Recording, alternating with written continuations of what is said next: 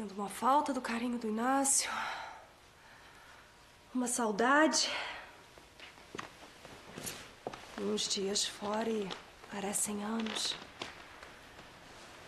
É que eu já me acostumei a estar sempre junto. E o Inácio sempre tão atencioso. Bom ouvir isso. Às vezes você tem a impressão errada. Você pensava? Nada de concreto. Apenas.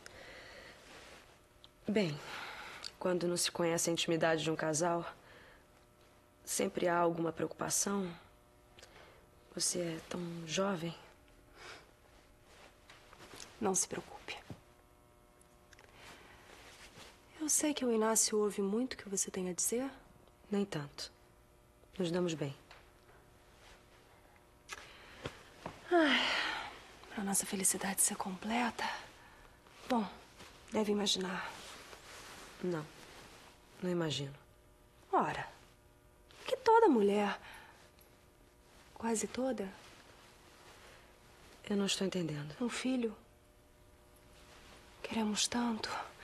Só que. Acho que o Inácio, depois que eu perdi o bebê, ele ficou com medo de se decepcionar, entende?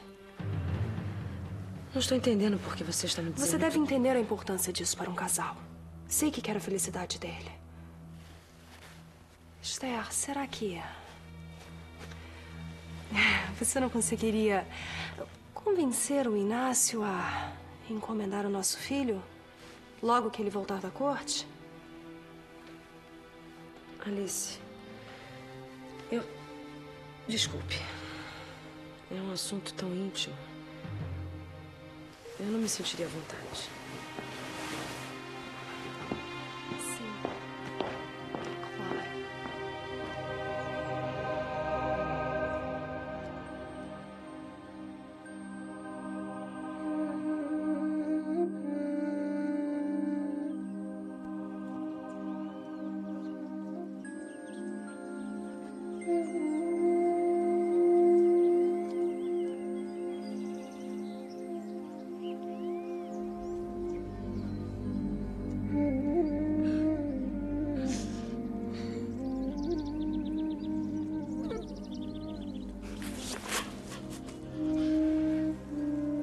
Posso sentar do seu lado um minuto?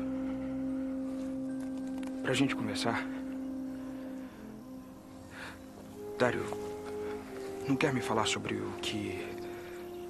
sobre o que está te deixando triste? Eu sou seu amigo.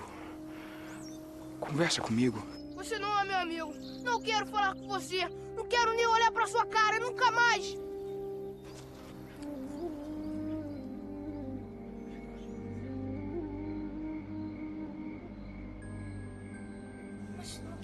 Comigo por quê?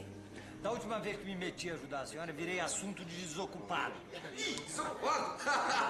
desocupado, Gaspar, é com você, ó, desocupado. É verdade que tem uma tabuleta nos banheiros agora? É proibida a entrada de jornalista com senhora se banhando? Desmoralizado, tá vendo? Eu só queria ajuda numa carta pro Queiroz. Ele tem conhecidos na Bahia. É por lá que o Mariano pretende fugir com Olívia. Escrevo sozinha. Não, é, é pro Queiroz, dona, dona Guiomar. Reinaldo, não esquece a tabuleta. E você, Palmira? Abre o olho, hein? Apaixonado mesmo, seu Bartolomeu? Dizem que a Luzia está inconsolável. Também foi se meter com um conquistador. Chega! É demais! Vou subir imediatamente e dizer pra dona Guiomar nunca mais falar comigo. E eu acho que ela ia entrar no banho.